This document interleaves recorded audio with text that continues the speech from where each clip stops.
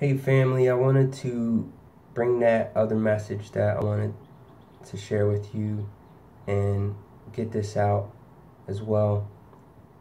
So, the Lord gave me this dream the other night, and it was kind of weird and a little uncomfortable what the Lord showed me in this dream, but at the same time, it's very encouraging and I definitely have to share this with you guys. So, so I, I had this dream where it started off. I was in this basement, and it was like a, it was like a city. It was an underground city, and I was riding my bike around, doing something.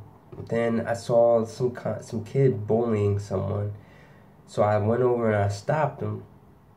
Then there was another kid that was part of this gang and he was trying to bully me into doing something that I thought wasn't good and I didn't want to do.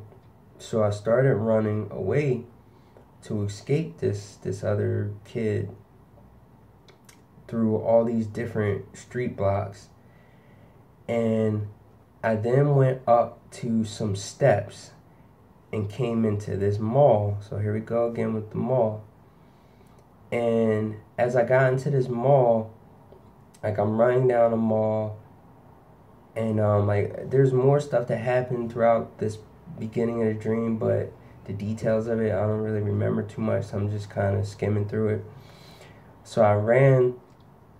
I was running through this mall, and I got to where the escalators or um yeah the escalators were, and I'm running like full speed, and, and I was just being like a kid just joyful little kid.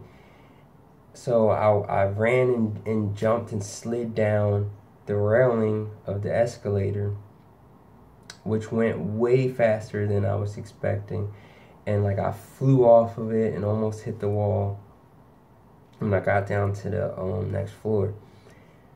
So when I got down there, I saw that there were these two men and I knew they were like security guards. Like they had on these security uniforms, these black security uniforms, and they were big. They were these big dudes, and they were talking to me about something. But I, I wish I could remember what they were saying because I know it was important, but the Lord's holding that from me for whatever reason. So then out of nowhere like I start fighting this guy. I'm wrestling this guy. Yeah, I don't remember why we started wrestling, but I started wrestling this guy. And um he like I, I'm I'm grabbing him and and flipping him over to the floor and um doing all these different moves on him and he he would just not every time like I got him down to the floor, he would get back up and we go at it again, and he just wouldn't quit. So I was like, all right, well if you're not gonna quit, I'm not gonna quit. So we're just going back and forth, just and I'm like trying to do all these different maneuvers, and like to uh, to subdue this guy down to the ground. Then, for whatever reason, we stopped, and there was this woman that I knew somehow and I knew that she was going she was either she was either going to become evil or wicked or she already had this wickedness in her. Some type of evil wickedness was in her. Like I knew this. So I knew that I had to crush her head. So I started crushing her right?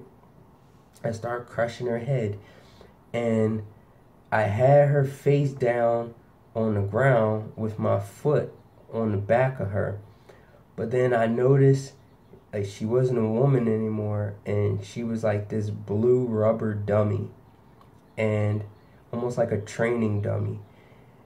And I but I could still I, I still knew that it was a, a represented a, a, a person, a human being because I'm stepping on on the head still and like the back of the neck and I'm crushing it and I could feel the bones crunching sorry it's pretty graphic but like I could feel the bones crunching and and then there was like blood gushed and squirted out of the back of the neck And like I felt really bad doing this, but I knew that I had to do it. I knew that this had to be done. And like I could feel the life just going away from this this vessel, this being, this person, whatever. So then after that was over, I it the scene switched and I went outside of the building. And as I went outside, I was on the front lawn and I saw my wife and I was walking around through all these weeds that were in the grass and like I was just I kept wanting to just pull them up, uproot the weeds and rip them out and get rid of them all. And then I saw that Janice was putting these these colorful strips of like liner material um and she was putting them like stacking them into this fence that was around the lawn and um like at first I saw the strips were on the ground and I was wondering what she was doing I went to go pick one up and then she told me that we needed to stack them and make this fence around the lawn so at that part I'm not really sure exactly what it means yet with the colorful strips, but I know the weeds obviously represent the wicked and uprooting them out of like the tares, the wheat and the tares. Tares, uh, that's that's weeds, and um, uprooting them out of ground. So, so Genesis 32, 24 to 26 says, And Jacob was left alone, and there wrestled a man with him until the breaking of the day. And when he saw that he prevailed not against him, he touched the hollow of his thigh. And the hollow of Jacob's thigh was out of joint as he wrestled with him. And he said, Let me go, for the day breaketh. And he said, I will not let thee go, except thou bless me. So this was amazing because I had just, I was reading this earlier that day before I um before the night that I had this dream. And I was praying, I prayed this prayer specifically because I've been asking the Lord about something. I've been asking him to reveal something something specifically to me. And I told him that I will wrestle him and not let him go, not let this go until he blesses me with it. So this is why he gave me this dream about me wrestling this guy and trying to subdue him to the ground. And why I just kept throwing him to the ground, flipping him over, throwing him down. He got back up. I was like, I'm not I'm not gonna give up. I'm just gonna keep doing it. So so he actually gave me word on this too after that. Um but it's more personal, so I'm not really gonna go into that. But um but it was just cool that he showed me this in the spirit through the dream of what I'm actually what I'm doing, what I've been praying about. And and you know what's going on, what it looks like. So this next part um where I was stepping on this this person and crushing them. This represented as uncomfortable and graphic as it was, it represented me treading and stepping on the enemy, subduing the enemy, crushing the enemy.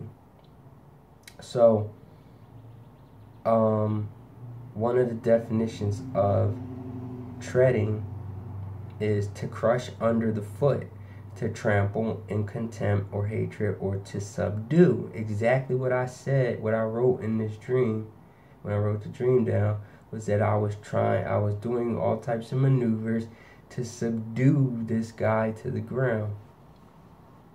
So the Lord was giving me two meanings at the same time in this dream of when I was wrestling this guy and I was trying to subdue him, he was also leading that into me subduing my enemy. And that's why I switched from me wrestling this guy to then crushing this this woman, um, this person on the ground treading um, them under my foot.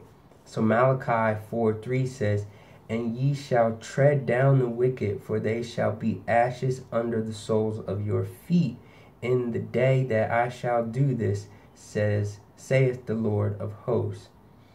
So then Joshua 10 24 to 25 says, And it came to pass when they brought out the kings unto Joshua that Joshua called for all the men of Israel and said unto the captains of the men of war which went with him, Come near, put your feet upon the necks of these kings. And they came near and put their feet upon the necks of them.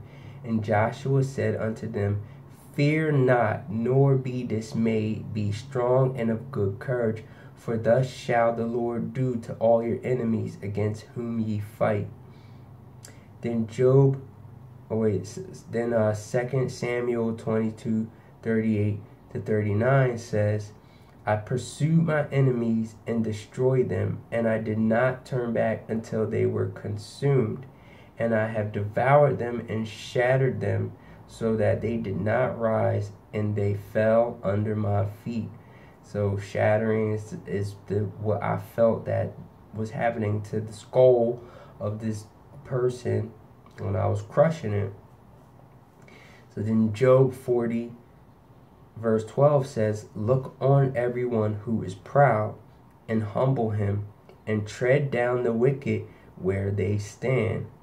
Then Romans 16:20, which says, "The God of peace will soon crush Satan under your feet. The grace of our Lord Jesus be with you." So, amen to that. And then Psalms 2 8 to 9 says, Ask of me, and I shall give thee the heathen for thine inheritance, and the uttermost parts of the earth for thy possession.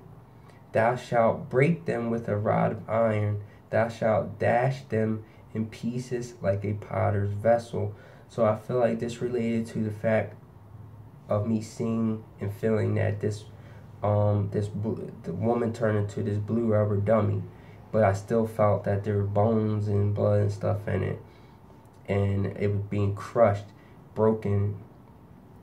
So this was kind of like the potter's vessel and being dashed into pieces with the rod of iron. So the blood gushing out the neck part, this was the grapes being trampled in the great the uh, great wine press. So Revelation 14, 19 and 20 says, And the angel thrust in his sickle into the earth and gathered the vine of the earth and cast it into the great winepress of the wrath of God. And the winepress was trodden with the great without the city, and blood came out of the winepress, even unto the horse bridles, by the space of a thousand and six hundred furlongs. So this is the wicked being pulled out of the earth and thrown into the great winepress. This is them seeing the wrath of God being poured upon them and the blood being splattered, which is very graphic, but at the same time, this is for a point, this is for a reason. God is trying to say He is serious, He is not playing. That all these people that have closed ears that are mocking Him and scoffing at his at his anointed, at his messengers, at his his prophets that are taking his sheep and leading them astray by spewing out false doctrines, doctrines of demons, and all these false accusations, just everything, you know, I'm not going to go through everything that the wicked are doing right now, but you know what they're doing. He's saying, listen, I'm not playing. If you guys, if this is what you want to do, this is what you're going to see. This is what you're going to get. You're going to be crushed. The enemy is going to, the, the enemy's uh, destiny is to be crushed. To be, he's already been, it's already written that he's been defeated. He's, he will be defeated. He is defeated. And the Lord said that he will give our enemies to us. He, we, for our inheritance, we will crush them. We will see them defeated as ashes under our feet. So all this stuff that you're going through right now with the enemy attacking you through other people and you know through spiritual warfare don't even mind that. Keep your eyes on the Lord because we already have victory. Our enemy is crushed under our feet. We trample upon him. And that's what I say all the time. I, I sing that song all the time. Get under my feet. Get under my feet.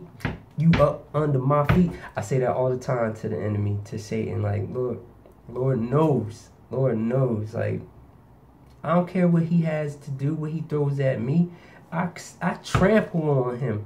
I, the, the Lord, know he gave me, he said, Behold, I have given you the authority to trample upon the snake and the scorpion and all of the power of the enemy, and nothing shall by any means hurt you. So I trample. I don't know what y'all be doing, but I trample on the enemy. I crush the enemy. So God bless you. I love you, and I'll talk with you soon.